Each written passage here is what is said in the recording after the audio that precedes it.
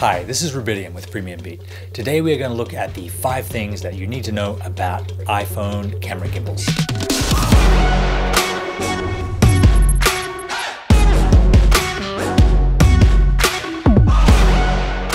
Number one is that you may not actually need a camera gimbal to get smooth footage. With the new generation of the iPhone, this is the iPhone 11 Pro, there is a lot of stabilization built into the camera itself. So you can actually get pretty smooth shots, especially in slow motion, just walking, hand holding the camera.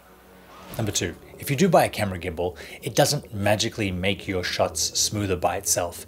The camera gimbal takes out the shake of the hand but it doesn't take out the dipping of the camera as you walk with it. You need to do what's known as the ninja walk or the duck walk, which is sort of a bent leg sort of walk that takes out the vertical movement as you're moving with the camera. If you're able to do this, you will get very smooth camera footage with the gimbal because you're getting both the um, internal stabilization of the iPhone as well as the stabilization of the gimbal itself. The third thing to know is that there are multiple levels of iPhone gimbal, some that give power to the camera, some that have their own dedicated app, and others that are purely mechanical. There are magnetic camera gimbals on the market, but almost all of the ones readily available are um, very light, very easy to use, um, can be balanced pretty quickly. The fourth thing to know is that iPhone gimbals change with each model, just like the iPhone changes with each model.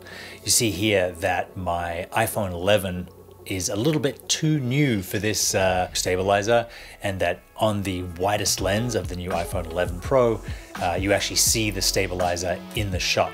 Um, in the wide angle lens. You can get around this by flipping the camera over and adapting, but generally the manufacturers are making gimbals for the phones that are out now and will update them when new phones come out. The last thing to know about iPhone camera gimbals is that you probably need to take the case off your camera to use them. They're pretty specific in the way that they grip the iPhone and if you uh, have a case on, they may grip the buttons and activate Siri or you know cancel the video that you're shooting. So you almost certainly need to take your iPhone off uh, to place it in the clamp of the gimbal.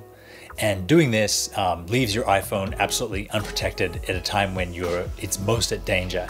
So uh, you really want to make sure you have insurance or that you know, you know what you're doing and that your iPhone is securely um, attached to a gimbal that's rated for its size and weight. You certainly don't want to be uh, running along the pavement and have your iPhone smash on the ground and crack the screen.